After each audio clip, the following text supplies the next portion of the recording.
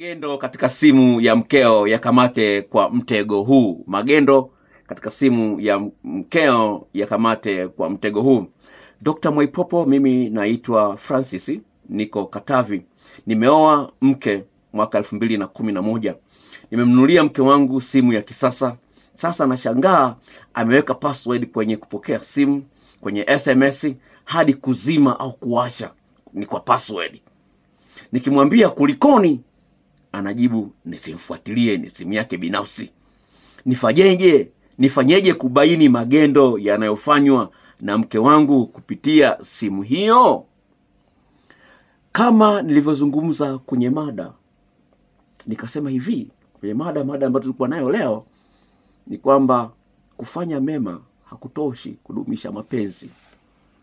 Umemnunulia simu mke wako kumwonyesha unampenda, sawa, lakini mke wako hajali hisia zako, kwamba wewe ungependa kuona mke wako ni mwaminifu kwa kupitia kwenye simu yake. Je, yeah, ana mchepuko au hana?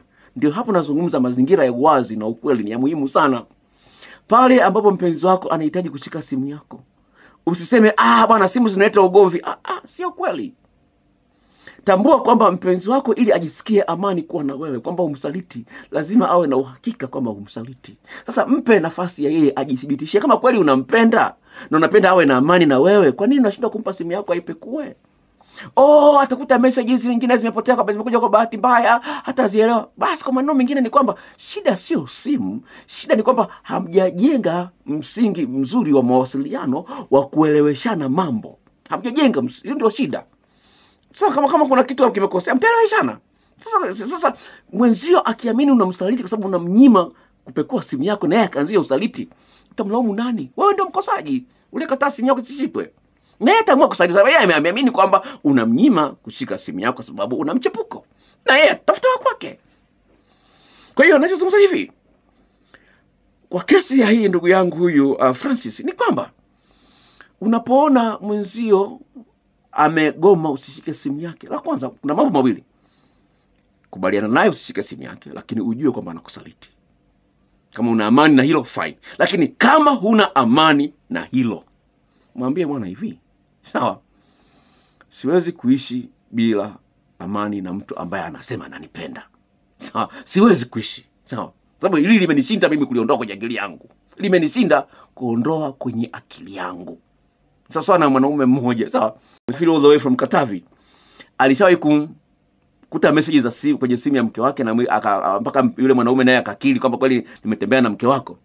Akasema huu ni mwaka wa tatu, lakini nasema yani eh, bado nikikumbuka kwamba eh, huyu mwanamke wangu alishafanya mapenzi na mwanaume fulani, eh, nakosa raha. Mwaka wa tatu. Kwa hiyo kwamba kuna kitu ambacho kinakosesha amani. Sawa? Juu ya mpenzi wako, na mpenzi wako hataki, mwambia hivi. Bana, samani bwana, hili linanikosea amani. Naona kama huwezi kufanya mabadiliko kama hapa kama ninavyohitaji mimi, basi nafutu uishi peke yako na mimi niishi peke yangu, tujue moja. Useme kwamba oh, dokta, nataka kuvunja ndoa. Ah, ah, sikiliza, ndoa ambayo haina mapenzi inatoa mfano gani kwa watoto? Inatoa mfano gani kwa watoto? No, no, no. Kwa cha msingi ni kwamba lazima tukubaliane kwamba kila mmoja ana wajibu wa kumsaidia mwenzie awe na amani. Sawa, kana kama huwezi kumsaidia basi nafu uondoke. Sawa, sawa. Biblia inasema kwamba kuweni na amani na watu wote. Sawa, kuweni na amani. Sawa, pasipo kuwepo na amani huwezi ukamwona Mungu. Biblia inazungumza Kwa Mungu ni mfalme wa amani. Yesu akasema kwamba mkono wako ukikosesha ukate, jicho lako likosesha ling'oe. Hmm. Sawa, lazima jicho lako ling'oe. Kwa hiyo kuna mahali ambapo unapaswa uwe mkali. Sawa, bwana bwana, ah ah, hili bwana siwezi nikalivumilia. Liondoke au uondoke. Kama unaona nakubana, sogea. Lazima mazingira kama hayo yawepo, mtu ajue kwamba kuna matokeo mabaya ya kuendeleza mwenendo, mbaya.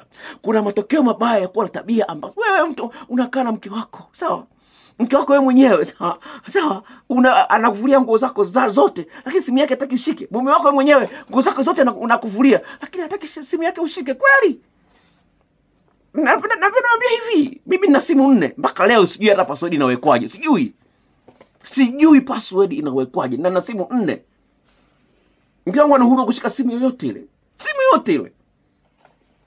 Kwa sababu gani? Najiamini, sawa, najiamini kwamba wezi akakutana na mchepuko. Sabani, yani kama kama kama ni uzinzi nimeshafanya imetosha.